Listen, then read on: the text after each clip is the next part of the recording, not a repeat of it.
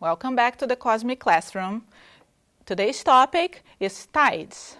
Not just the tides that um, you heard about in class, not just the tides of the, the relationship between the moon and the earth and the sun, but I'll make it a little bit more exciting and tell you also why are that tides are important in other circumstances. For example, I'm sure you want to hear more about, black holes, but for that you're going to need to wait until the end of class. But I'll give you just a little taste of what is it that a black hole does to you. All right? So let's imagine, let's study the tides, tidal effects near a black hole. So let's create a black hole here. There. Well, you can do it as you want. This is my black hole. And let's imagine that the black hole has um, a Schwarzschild radius of 3 meters. And it's okay if you don't know what that radius is. It's just, if you get closer than that, not even light can escape. All right? So it's just a distance that you shouldn't get closer. And except if you can travel faster than light, you shouldn't get closer anyway, closer than that anyway. So let's imagine you are careful. You know that if you get too close to a black hole, you're going to be sucked in. So instead, you keep a distance. So there you are at a certain distance from the black hole. And let's say you decide to stay at a distance of extra 5 meters from the black hole. All right. Well, you're a person, you probably have a little bit less than 2 meters. So what will happen is that your feet are much closer to the center of the black hole than your head. Therefore, your feet are going to be pulled more than your head. As a consequence, you will be spaghettified and you will go thin and skinny and dead also. All right? So this is called spaghettification getification.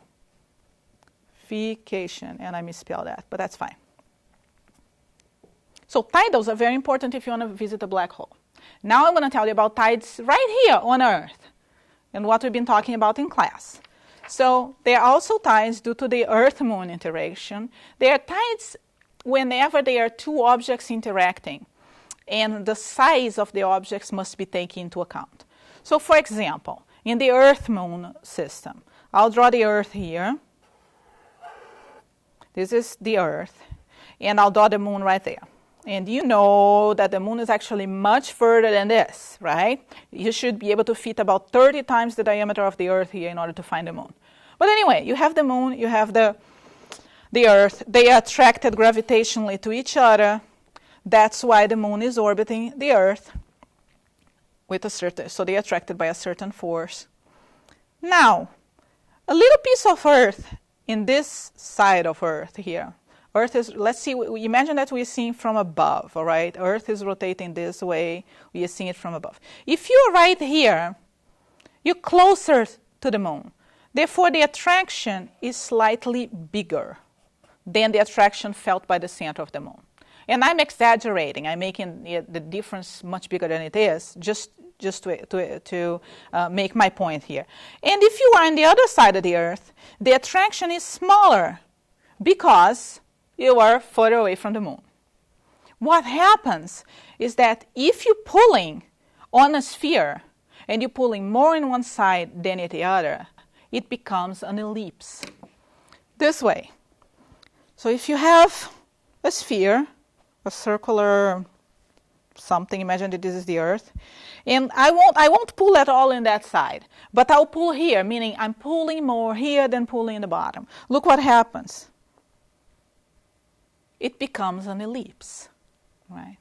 So the Earth creates a bulge in both directions, the direction towards the moon and away from the moon. There is another way of visualizing this which is if you can think in terms of, uh, think about the pull that Earth feels. So Earth is already being attracted by the moon, and that's and, and vice versa, and that's why they are orbiting one another. Now, if you live on Earth, all you see is a difference. You see that there is some more attraction this way than that way. So if you take this the size of this attraction and take away this, and take this one and take away the same, take away what's happening to the center of Earth, you have a stretch. So what happens is that you create a bulge like this, and I'm of course ter- doing a terrible job of drawing, but you create a bulge like this. So there's the moon. Here are high tides. High tides. Here and in this side, and on top on, on top of the paper and on the bottom there are the low tides. Now this is the mechanism that creates the tides. However, there is one more important thing in understanding the tides on Earth. As we as you all know, Earth is not interacting only with the moon, Earth is interacting with the, with the sun.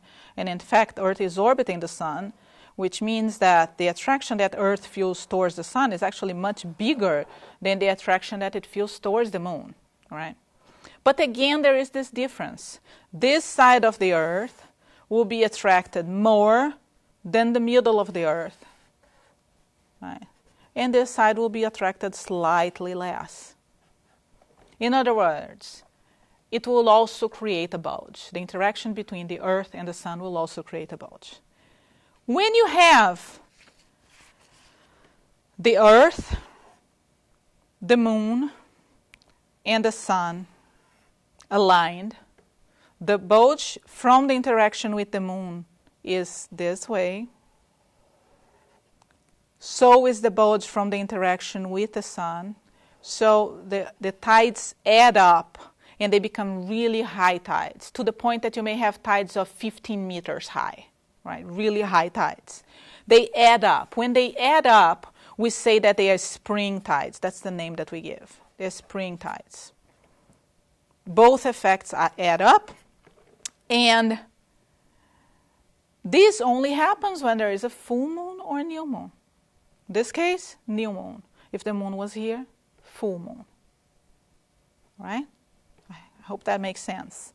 Conversely, if you have the Earth here, the Moon there, and the Sun there, what you have is a half lit moon, so a quarter moon, and the tidal effects from the moon will want to stretch it this way, but the tidal effects from the sun will want to stretch it that way. And at the end, you don't have much stretch at all because they are competing factors. In this case, you have the lowest tides and these are called neap tides. So that's it. I hope you understand the importance of tides and that tides are not only relevant to our life on Earth, but are relevant in our study of astronomy, and we'll come back to it.